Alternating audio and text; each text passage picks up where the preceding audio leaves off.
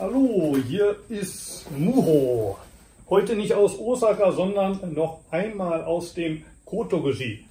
Gestern habt ihr schon ein Video gesehen, wo ich hier ein bisschen Sazen gemacht habe und ich habe auch auf Japanisch erklärt, was diese Kalligrafie vom Kodo Sawaki bedeutet, was da steht. Falls ihr das auf Deutsch haben wollt, ähm, ihr findet in der Videobeschreibung einen Link zu einem Video, das ich in diesem Raum vor einem Jahr aufgenommen genommen habe und da erkläre ich dann auch ganz genau, was da steht. Vor zwei Jahren, äh, da gibt es auch ein Video, wo ich unter anderem in diesem Raum zu sehen bin. Da spreche ich über Zen und Sauberkeit. Und wenn euch das interessiert, wenn euch ihr diese Videos noch nicht kennt, ne, ihr werdet Links im Abspann finden. Ne, also entweder dann hier auf der Seite oder auf der anderen. Ne. Ähm, oder vielleicht packe ich die Links auch in die Videobeschreibung. Also äh, dieser Tempel hier, da werde ich jedes Jahr, immer am 19. und am 20. eingeladen. Das ist so gewöhnlich die heißeste Zeit in Japan, wenn gerade die Regenzeit vorbei ist und richtig pralle Sonne kommt. Aber gleichzeitig ist es auch sehr feucht. Ähm, auf Japanisch heißt diese Zeit, Zeit äh, Docho-Ili? Ich glaube Docho-Ili. Ich könnte mich aber auch jetzt irren. Und ich habe mal nach einer deutschen Übersetzung geguckt. Ne? Also ich meine, in Deutschland äh, äh, folgt man ja einem anderen Kalender. Ne? Aber irgendwann in irgendeinem von den Zitaten von dem Sawaki kam das Wort auch vor. Ne? Das deutsche Wort, das ich dafür gewählt habe, sind die Hundstage, ne? also die heißesten Tage im Jahr. Und da wird hier jedes Jahr so eine Hanya-Zeremonie äh, durchgeführt, ne? wo das, äh, die Weisheitssutren, ne? die Hanya-Sutren wie ein Akkordeon geöffnet werden und ich im Anschluss halte dann immer einen Vortrag ne? an jedem dieser beiden Tage. Und dieses Jahr der Plan ist, dass ich über das Hokyo Sammai spreche, ne? weil ich mich da jetzt äh, so viel reingearbeitet habe. Ich habe das Gefühl, das kommt am natürlichsten raus. Ne? Allerdings ähm, werden wir mal sehen, ne? ob ich einen Weg finde, dass auch den eher älteren Herrschaften, die hier in den Tempel kommen, um an der äh, Zeremonie teilzunehmen, das auch genießbar zu machen. Ne? Wie dem auch sei, äh, zurück zu meiner Übersetzung vom Hokyo Sammai. Ähm, beim letzten Mal, ich glaube, das war der Donnerstag, nee, oder doch, ne? Am Donnerstag bin ich stehen geblieben bei dem Teil, äh, wo von Baba Baba die Rede war, ne? So wie ein Säugling, ne? Ähm, mit Worten hantiert, und doch nicht in der Lage ist, sich wirklich auszudrücken. So können wir oder ich, ne? Ich kann viel reden über das Absolute im Relativen, das Relative im Absoluten. Letztlich eignen sich nicht diese, diese Worte nicht, ne? die Sache zu fassen. Es ist so wie der Name des Kaisers, der früher in China und Japan nicht ausgesprochen werden durfte. Ähnlich vielleicht wie ein bisschen, ein bisschen wie den Namen Gottes, der heilig ist und der deshalb auch, ähm, ja, ich weiß nicht, ob er nicht ausgesprochen werden darf, ne, aber in dem Alten Testament steht halt nur YHWH. Ne? Und äh, die Gelehrten streiten sich, ob es wirklich Yahweh war oder vielleicht auch Jehova, ne? denn der Name wurde nicht ausgesprochen. Und selbst wenn man ihn ausspricht, er kann es nicht, nicht das ausdrücken, was damit ausgedrückt werden soll, nämlich Gott, ne? die Wirklichkeit des Seins selbst. Ich lese nochmal den Teil vom Freitag vor. Ne? Wie bei einem Säugling arbeiten deine fünf Sinne. Da ist weder kommen noch gehen, weder entstehen noch bleiben. Baba Waba. Mit Worten, ohne Worte. Du kannst das Ding nicht begreifen, denn die Worte erreichen es nicht beim Hexagramm des Doppelfeuers greifen Relatives und Absolutes ineinander. Übereinander sind es drei, verändert werden es fünf. So wie die fünf Geschmäcker der Beerentraube, so wie die fünf Speichen des Diamantzepters. Ähm, das ist eine Stelle, bei der ich vor ungefähr drei Monaten hängen geblieben bin. Ne? Ich habe damals dieses Papier hier in die Kamera gehängt, ne? um zu erklären, was überhaupt mit dem Doppelfeuer gemeint ist, ne? dieses Hexagramm. Das ist eins von insgesamt 64 Hexagrammen aus dem I Ging. Und auch die anderen äh, vier Ringe, also insgesamt fünf Ringe, werden jeweils einem Hexagramm zugeordnet. Ne? Und ich habe damals gefragt, ne? und was ist mit den anderen 59 Hexagrammen? Die könnte man, wenn man wollte, ja auch ähm, irgendwie dem Absoluten und dem Relativen zuordnen. Denn der verbundene Strich, der steht vermutlich für das Absolute hier, ne? und der mit einer Lücke steht fürs Relative. Und es gibt ja jetzt noch tausend, nicht tausend, ne? aber noch 59 andere Arten, wie man das Absolute und das Relative miteinander verknüpfen könnte. Ne? Interessanterweise, lustigerweise, hatte offenbar auch der Hakuin während seiner Ausbildungszeit ähnliche Zweifel wie ich. Ne? Wie ist das genau gemeint ne? mit äh, diesen, diesem Hexagramm? Ne? Übereinander sind es drei, verändert werden es fünf. Äh, was die fünf äh, Geschmäcker der Beerentraube angeht, ne, das findet ihr zum Beispiel bei Wikipedia. Ne? Das ist eine ähm, ein Blatt oder vielleicht ist es auch die Beere selbst, die auf fünf verschiedene Weisen schmeckt. Auch das habe ich vor drei Monaten erklärt. Ich krieg's wahrscheinlich nicht mehr zusammen. Ne? Also bitter, süß, salzig vielleicht auch, ne? scharf und was wäre das fünfte dann? Sauer, ne? Sauer. Das könnten die fünf Geschmäcker gewesen sein, ne? Und der Diamantzepter habe ich auch erklärt, ne, Watschra-Zepter findet man zum Beispiel im Wolkentor im Doxan-Raum. Ne? Also der Dirk, der mag diese Accessoires. Habe ich hier sowas liegen? Nee, leider in diesem Raum. Da ist auch alles mögliche, aller möglicher Klingklang, den ihr hier seht, ne? aber ein Vajra-Zepter sehe ich hier leider nicht. Und jetzt wollte ich euch mal kurz äh, vorlesen, was der Hakuin dazu meinte. Ne? Äh, das findet ihr auf Deutsch auch bei Script D. Ähm, leider habe ich hier im Moment keinen Internetzugang und muss deshalb ad hoc aus dem Englischen übersetzen. Ne? Ich übersetze aus der, dem englischen Buch von Bros Bollitter. Ähm, der zitiert es da. Und äh, zwar so wie folgt. Also der Hakuin äh, dessen Meister hieß ja Shoju. Und irgendwann war Shoju gerade dabei, dem Hakuin die fünf Ränge zu erklären anhand des Schatzspiegel Samadhis. Und als er gerade bei dieser Passage angekommen war, wenn die sechs Linien das Doppelfeuer formen und das Essentielle und das Kontingente sich gegenseitig ergänzen oder verquickt sind miteinander. Zusammen sind es drei, übereinander gestapelt findet man drei. Und, und da hörte plötzlich Shoju auf zu reden. Plötzlich schwieg Shoju. Übereinander gestapelt sind es drei. Und Hakuin sagte, Shoju, bitte mach weiter. Und wie geht's weiter? Wie geht's weiter?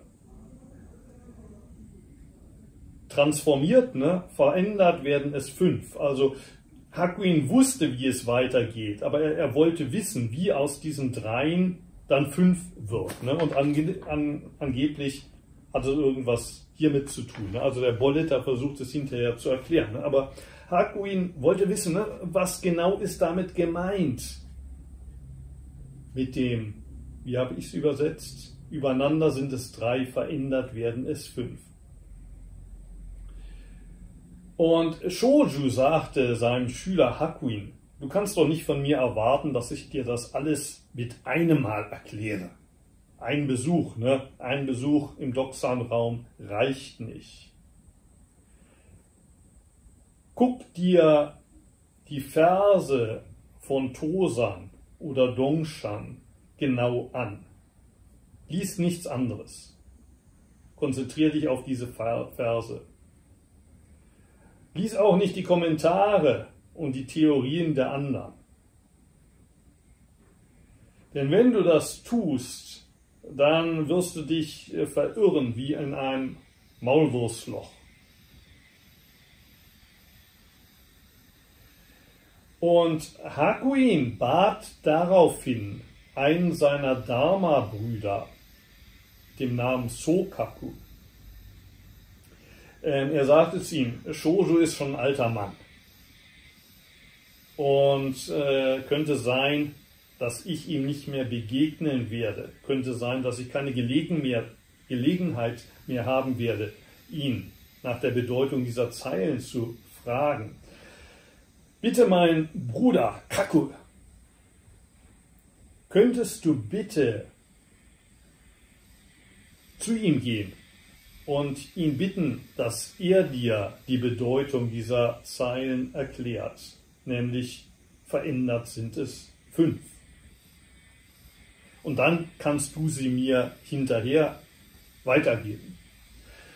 Und Sokaku war damit einverstanden und die beiden trennten sich und Sokaku besuchte Hakuin.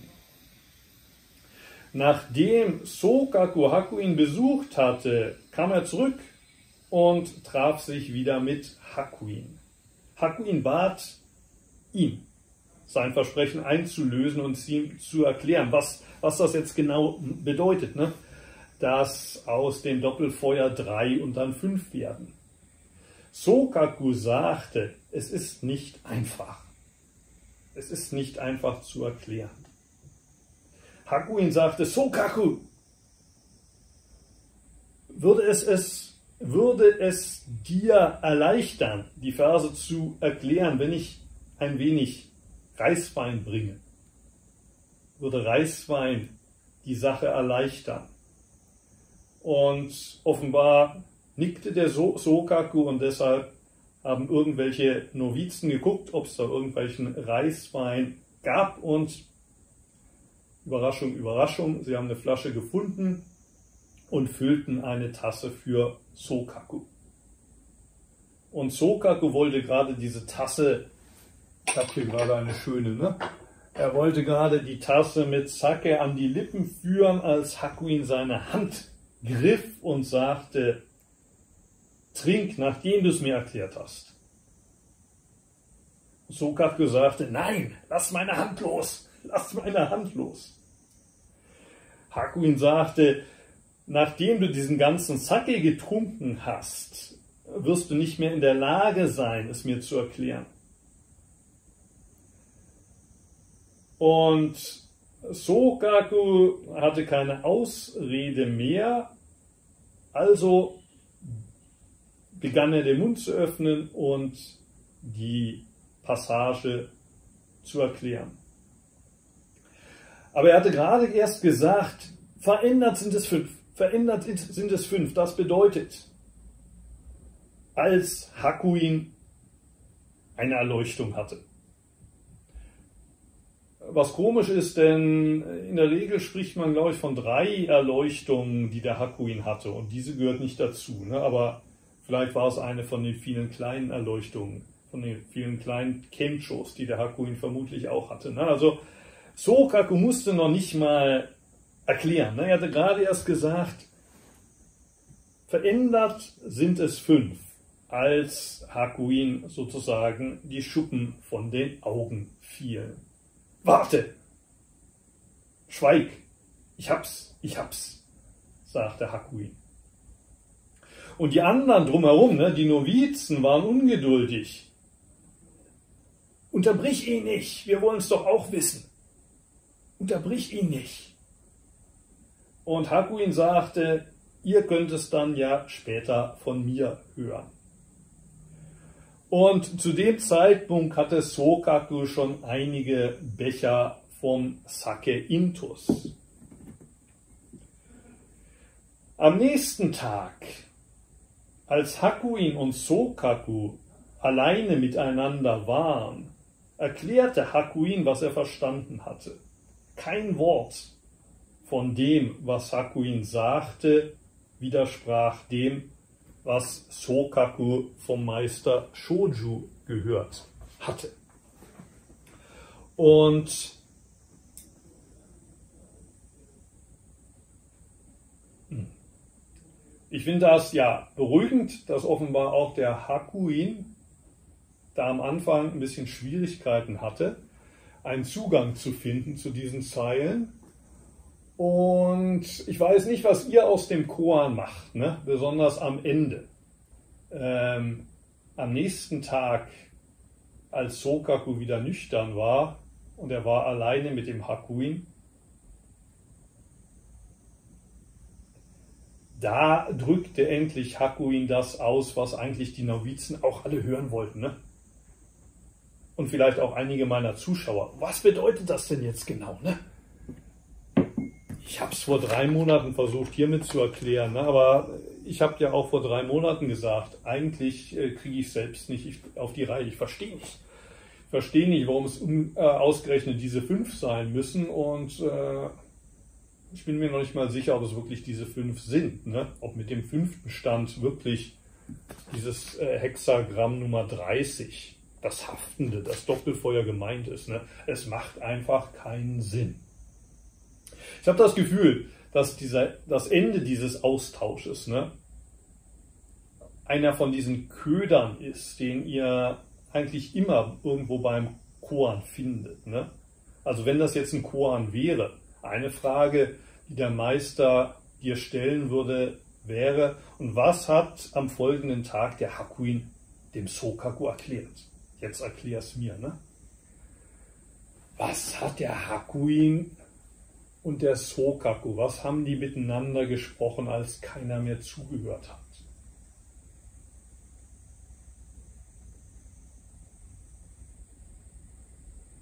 Was hat Hakuin verstanden, ne?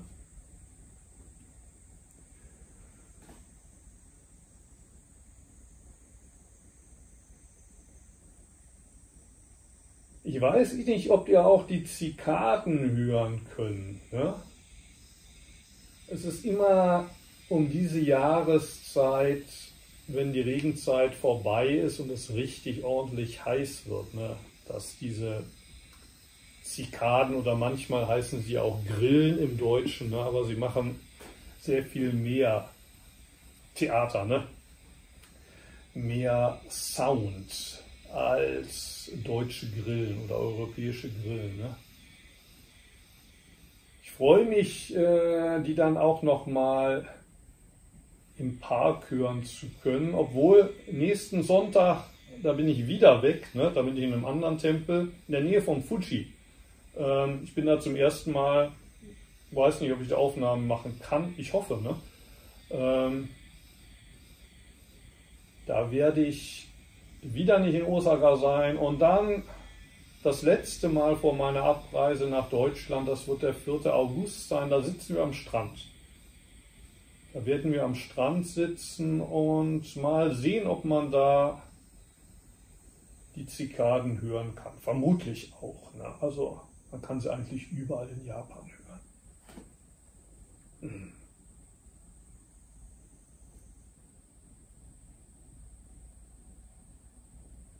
Der Grund, weshalb ich über die Zikaden spreche, ist natürlich, dass die Zikaden sehr viel wortreicher die fünf Ränge erklären, als äh, Sokaku und der Hakuin das gemeinsam jemals könnten. Ne? Aber vielleicht habt ihr ja bessere Ideen, ne? was der Hakuin da verstanden hat in dem Moment. Dann lasst es mich gerne in der Kommentarspalte wissen. Heute nehme ich mit meinem Handy auf, deshalb es könnte sein, dass ich überzogen habe. Das tut mir leid, wenn ich euch zugeschwurbelt habe. Ähm, sorry. Beim nächsten Mal könnte sein, dass ich mich schon wieder mit, dem, mit der normalen Canon-Kamera zurückmelde und dann haben wir das 12 Minuten Limit. Ne? Danke fürs Zuschauen erstmal. Ne? Ich wünsche euch einen schönen Start in die Woche. Habt einen schönen Tag ne? und wir sehen uns wieder. Tschüss.